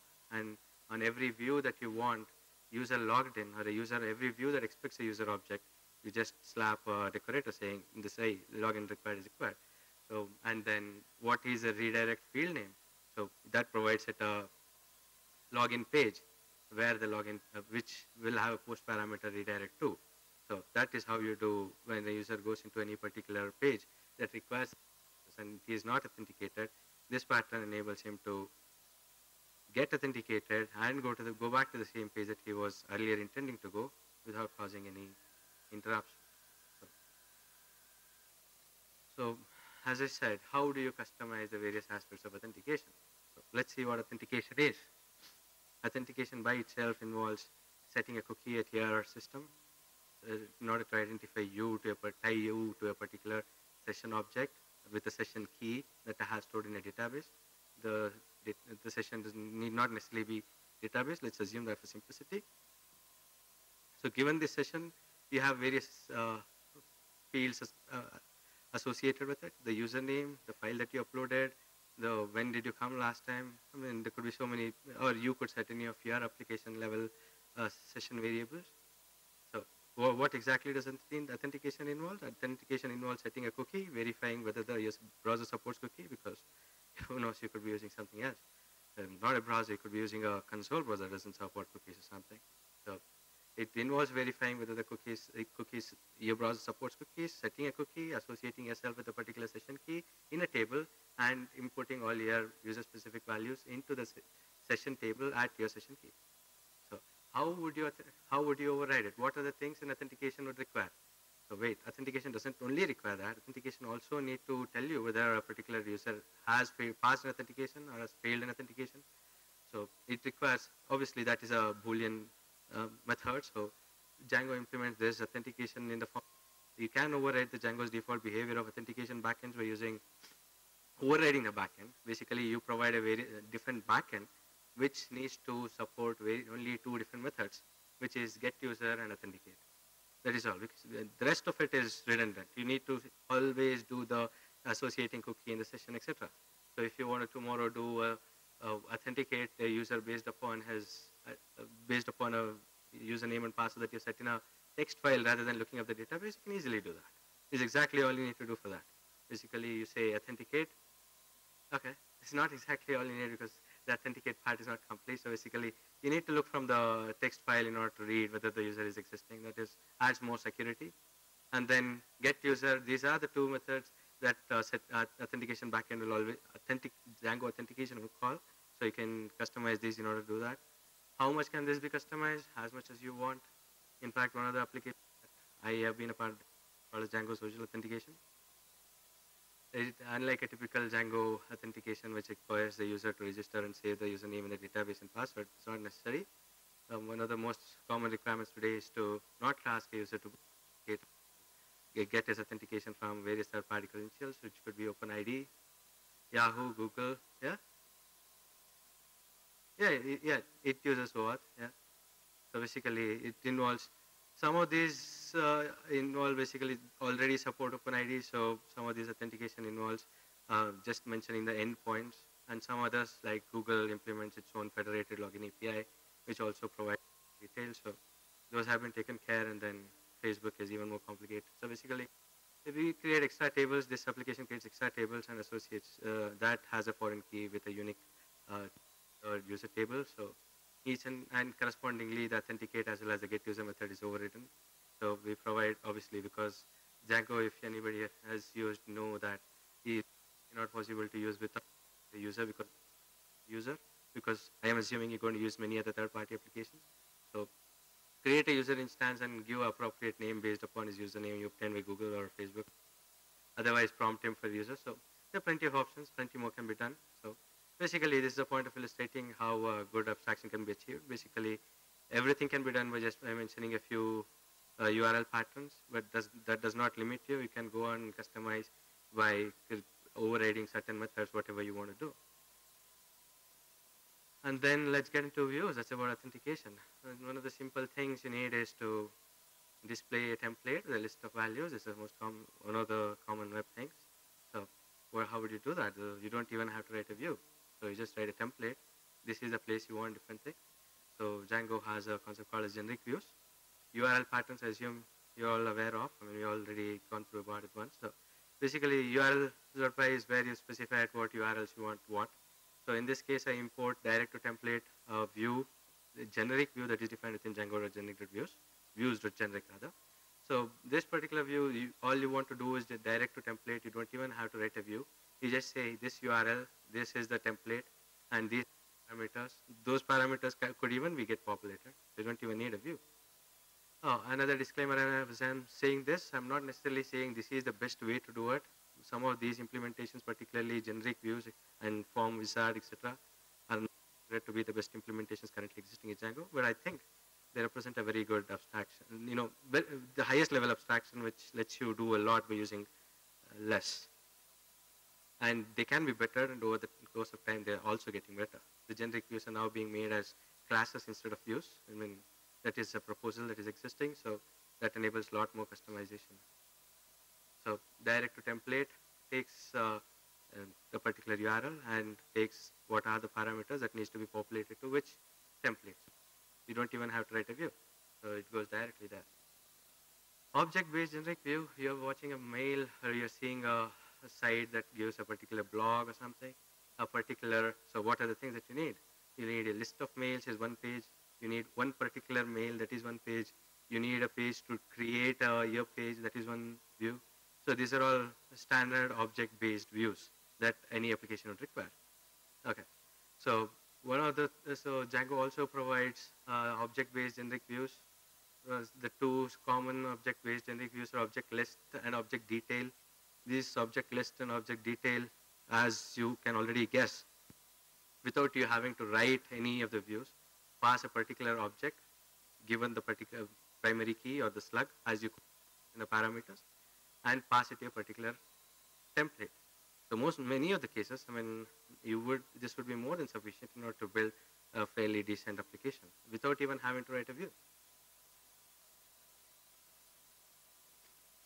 Yeah, generic basically you don't have to write views, generic views, but to be fair at this point, I also have to tell you that uh, generic views are notorious today, as of today's implementation, for being not customizable. So most people end up using uh, standard views by not using generic views. But then the point, the concept definitely remains. It- They can provide a better implementation, that is being looked into. The list of generic views, there is direct to template. You can pass any uh, list of values that you obtain from anywhere and with the users provided uh, values or whatever into directly into template. You can use a redirect to object list and object detail we saw. Similarly, there is create object, update obje- object, and delete object. You want to create a new object, you just have to pass the parameters of the new object and uh, provide what is the object. That is a create object. Delete, you just pass the primary key of the slug based upon the configuration. You just pass it as another parameter within the URLs required. Not just this, generic views also provide the other forms of generic views, which is uh, common WordPress template system, which is slash 2009 slash 10 slash 05 slash. So basically, those are other generic view patterns. So basically, you then you show, show a list of posts pop, you know, populated in 2010 slash 2010 slash 05 will show you all 2010 May posts. 2010 slash 05 slash 01 shows all these things. So those are also provi- provided automatically. So if you're going to build a blog application that has to be cross-compatible with your WordPress system or you're going to import a WordPress system, you don't have to write any views because those views are already existing. You just have to map the URLs and say, okay, these URLs, these are the views that I want. So your WordPress remains intact. And not necessarily, I don't think that, I personally don't think that's the best URL system. I would rather prefer, I mean, unless you are a heavy blogger that keeps blogging every day, that's not a URL. So I would not keep that as a standard, but you can always have that as a fallback. Those URLs exist. You can also have other URL patterns where Stack Overflow kind, which Slug is dynamically produced and then has URL has a PK or whatever you want. Those about the generic views, there can be more kind of generic views. Maybe you can take up take it up later. But and now let's get into caching system. Cal Henderson, the creator of Flickr, is famous, known famous for saying this code, saying normalized data isosceles. So basically, if you are running any production application, you can't have a normalized data because uh, you have to display to the user by querying the database all too often. How would you counter this? I mean, obviously, Pranav took a session before. He said you write many times. I'm not a fan of that at all, at least personally. Write, writing many times, maintaining many duplicate copies of the same data can lead to nasty bugs that you will end up fighting very dearly with. Instead, my preferred way of that is a runtime problem. It needs to be solved in the runtime. One of the ways of doing it is to implement proper caching systems over the database, which is totally normalized. And these caching systems take care, uh, you know, that is, uh, these caching systems take care of the runtime necessities into map uh, rather than querying the database again and again repeatedly. Django properly, fortunately, provides a very strong caching system, which will go through. If say you have a page that displays both Flickr and Twitter, how would you do caching for this? One of the common system, one of the common methods of caching of any web application is to cache the entire page. It doesn't make sense because anything that is more than a minute old for in Twitter is very old for me, but it doesn't make sense to query Flickr every minute. How would you implement caching system? You don't have to do the page-based caching. Django provides a sufficient hook in order to def define, a, in order to do caching per block basis and then render the HTML based on the block. Basically, caching system is also very, uh, very simple in order to customize. You just have to provide the get key, you know, the key, the value, as well as the time at which it expires. The rest of it is taken care. And caching again, very similar to authentication, is also can be customizable by using backends. The caching backends in, include memcache, database, etc., which we'll go through. So one of the ways of achieving performance improvement for any application is to generally memcache every page. Memcache is a very nice software developed by LiveJournal people. Fortunately, even today, any web application that you put uh, can be cached at least for a certain amount of time, and just uh, generally memcaching the entire system, every page, uh, can improve, the performance by several fold. You know, this is one of the, you don't have to bother about it. This is the, another way how an abstraction has to be achieved. So you don't have to configure anything. You just have to say, hey, I want everything memcache. So great. So it automatically generates keys and automatically provides values and uh, HTML pages appropriately as relevant. So, but that doesn't always work. As you saw, we have a case where you need both Flickr uh, data and Twitter data rendered in the same page. It doesn't make sense for us to display the old Twitter data or query Flickr again and again. So what you need to do for that is in this, this, this is actually a quoting from production application, so it doesn't make sense, don't worry. So basically, it, it provides a caching decorator which I apply on top of each view or a which is implemented in this case as a class. So it obtains a particular key as well as value and then to the cache for I pass a particular value. So I could cache at way so many different blocks by just passing the val, uh, duration that I want to. In case you want basically uh, it, it's, it's, it's a very simple function basically at the end of it. Basically it has two levels of uh, decorating systems because you need to have a decorator with a parameter that's how to achieve. Okay. So that's how if you take the cache like that, you can apply it on the block, uh, various blocks by passing a parameter to each block. What is the duration you want it cached for? Caching can be on various uh, uh, backends, as I earlier said. It could be on database. I don't know why you do it.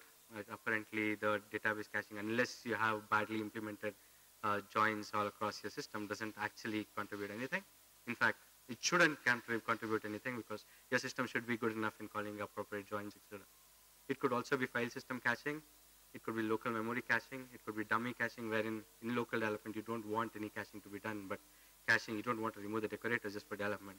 So you just say local backend, then nothing happens. Then caching will not be uh, enforced, but uh, the, you don't have to remove any of the APIs. So there we discussed about caching and uh, authentication and generic views and forms. There's so many other paradigms that we commonly encounter. One of them is internationalization, localization. Uh, the Orkut was US. Nobody predicted that to become famous in India and Brazil. It did. So it is very important that you internationalize any of the web applications you provide because you don't know who, where would be using it. Django provides a very good system for internationalization. You just have to specify, uh, I think it's based on a standard uh, internationalization system that is existing across web applications wherein you have PO and MO files. So you have a list of strings that are in the MO PO files with corresponding languages, uh, file names as languages. So during the runtime request, uh, based upon the browser the browser headers language setting, it passes the appropriate strings rather than passing the English string all the time. Humanization, it is very important, just like you don't see at 14, 23 minutes, etc. You see in Twitter a few minutes ago. So that's also built into the Django uh, templating system. All you need to do is import a particular filter and say, this is minute uh, humanized. So it says few minutes ago, one day ago, 15 days ago, etc. I don't want to get into CS, CSR production because a lack of time. So similarly, there is pagination, sorting, data grid, thumbnail. Pagination, every, as we said, we pass a list of objects. We passed, we saw a particular object. Uh, when we pass a list of objects, we are necessitated in order to uh, paginate. You can't obviously pass tens of thousands of emails into the same page. So pagination is also inbuilt, but more importantly than how, how well Django does it, there are external applications. I haven't actually gone through this because it's not achieved by using other than the CSR protection within the Django itself, but come as other, other external applications. You can Google for Django pagination, Django sorting, Django data grid. So basically, all the applications that provide you without any configuration pagination. Django pagination calls itself Digg style pagination. So you call a template tag and you say, this is a model that you need to be paginated within the template. And you say, here I want the page numbers, done. Basically, it adds a middleware and then uh, queries a particular, uh, it configures the parameters of the, of the database query based upon you get parameters, which it reads within the middleware, so your view does not actually get it. Similarly, sorting uh, data grid, so data grid, you want pagination, you want sorting, so you want a huge set of list, list, listing to be displayed, something like Excel. So that is exactly what a data grid does, except in, in which in data, data grid is another application that I've been developing. So basically you specify a data grid and you say what are the various fields and what are the different fields that you want pagination on and where all you want sorting. So that, that's how it ultimately provides you an object as well as a data grid. So within the template, all you have to do is say data grid. And it also comes with templates and template tags. So you know where to, uh, you know, it knows how it to render itself, except for classes, which maybe you need to customize. Oh, so one more thing, other than all this, we saw pagination, we saw object list, we saw create object, we saw delete object, we saw uh, etc. How about adding all these things into a same application? Given a model, you need to add it, you need to delete it, you know play various point keys. You know you need to display the paginated, etc. So how about realizing bundling everything in a same package? I mean, that's exactly what Django admin is. So you just write a model, and this is not today's application. This is Django came bundled with Django admin about when in, in its initial release of 0.9, so it's about five years ago. You just write a model, and you say, I want an admin for this model. That is all. So it provides you entire web application CRUD, the CRUD model, which is create, a delete, and it also displays, based upon your configuration, the foreign keys of this associated with this particular model. And it also tracks what all, you know, what all the actions that you have taken within this application using another model, where it, it tracks the history of the admin.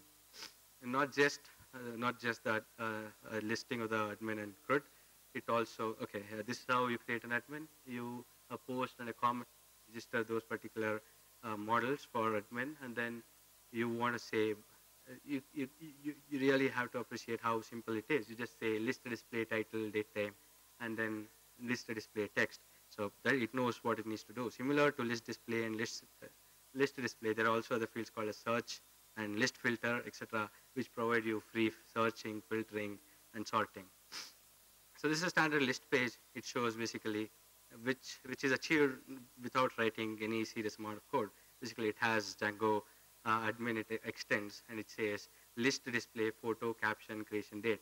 And list filter has an options by site and by creation date. That's all. So, and then I think it also has list filter with a particular parameter saying year. So that year comes there. Not just that, when you want to, it also provides you there's an add, add photo or add, add, a, add a particular entity in the right top so you go to add an entry, it's an entirely composed web application with at least with not bad UI. UI, then the taste of web UI keeps changing. But this has been a pretty decent UI five years ago and still not bad. So it, that is how you can also add an entry.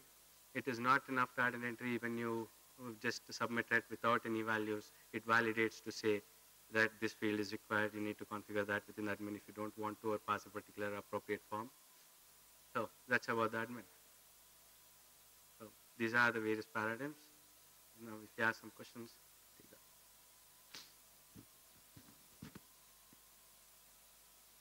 Or if you don't have questions, you saw various paradigms that are realized how in the in the Django way, you how how are they realized in the framework of your choice? Would you want to share or any other paradigm, common occurrence that you see realized very well in your framework, etc.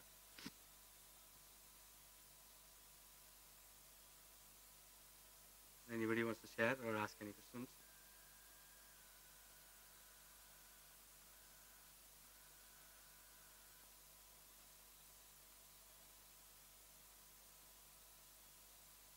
All right. So unless you have any question, that is it. Thanks.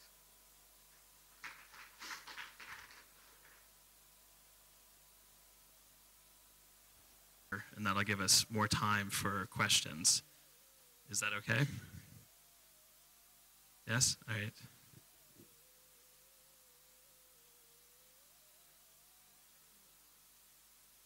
So we'll start in about five minutes. Director of Social Impact at ThoughtWorks, which means I oversee our efforts in um, uh, areas where technology can be used for social good. That means things like poverty reduction, healthcare, relief, that sort of effort. And uh, today, me and my colleague Diptanu are going to talk about a project that we did for UNICEF in Iraq. Uh, we completed about two, three months ago. Yeah. And so I'm going to give a little background on the project uh, itself and what its goals were. And Diptanu is going to walk through some of the technology we used. And it was a, a pretty much an all Python project. So the project was using SMS uh, in the Iraqi context to reach out to children and understand the condition of the lives of children within Iraq. And um, one of the questions is why use SMS in the field of international development? Uh, first answer is mobile networks are pretty much ubiquitous at this time.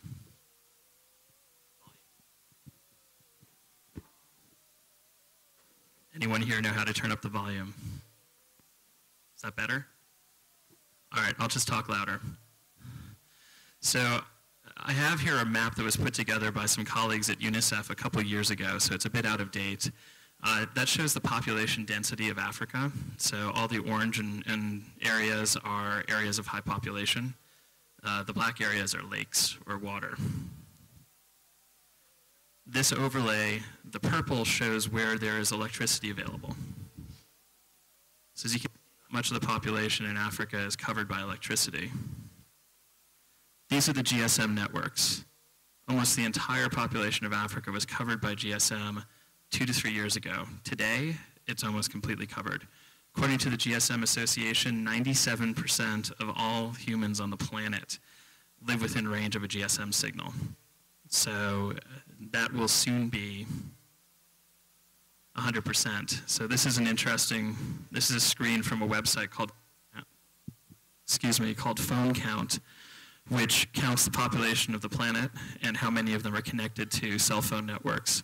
And they predict that um, we are about half a year away from everybody on the planet having access to cell phones, at least by network. So of course, mobile phones themselves are very common. Uh, most people you meet will know how to use them. Uh, but they're what the industry calls feature phones. So I'm using a fancy iPhone here. 99% of the world uses a phone that only does voice and SMS. That's what they call feature phones. So SMS really is the base platform. If you want to reach people using mobile networks, you can reach them on SMS. And even though SMS itself is very limited, restricted to 160 characters uh, per message in English, 70 characters per message if you're using a, a non-Latin script like Chinese or Arabic, the fact that they're ubiquitous means that you have ubiquitous data collection. So you can, if you're working on projects, and we've done projects with, uh, I'll go over some later, but we've done projects with uh, National Health Services, you can communicate with all the health workers in the country you can get real-time analysis. So uh, as an example, uh, when health workers go out into the field, they tend to record information about the populations, who's sick, uh, who has malaria, for example, on pieces of paper. They then get shuffled into boxes and sent back to clinics, and then sent up to hospitals, and then sent to the Ministry of Health. And a year or two later, it gets entered into a computer. But if you can text that information in, it goes immediately into the systems and you can do real-time, real-time analysis, which also means that you can do real-time feedback. So there are interesting projects using village health workers in remote villages through Africa and India, where these health workers text in information like the size of the arm of a child that they're seeing, and the system texts back whether that child is malnourished or not and what kind of treatment they need.